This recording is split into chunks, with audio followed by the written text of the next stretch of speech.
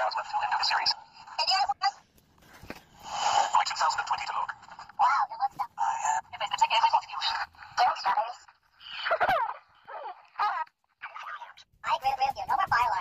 Wait, the sensor. Oh, the unos voices.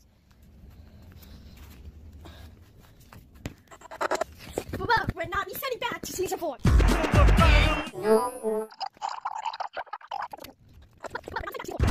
Alright, that's it, Robbie Rotten. For trying to hide this video again.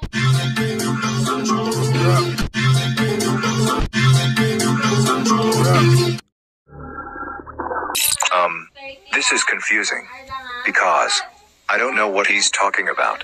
I'm tired of people. First of all, not everyone has to put all 57 more.